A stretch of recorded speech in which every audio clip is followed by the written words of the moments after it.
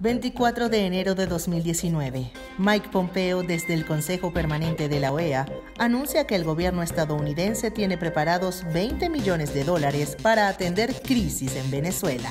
27 de marzo de 2019.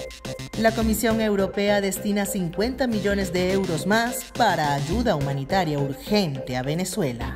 18 de julio de 2019, Trump desvía cerca de 42 millones de dólares de ayuda a Centroamérica para apoyar a Juan Guaidó. 4 de septiembre de 2019, Ivanka Trump, en su visita a Cúcuta, anuncia la donación de 120 millones de dólares a los migrantes venezolanos en Colombia.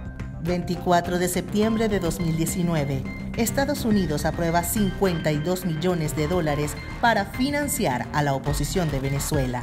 Un total de 284 millones de dólares para una dirigencia que ante su incapacidad política ha encontrado en el oposicionismo contra la revolución bolivariana su negocio más rentable.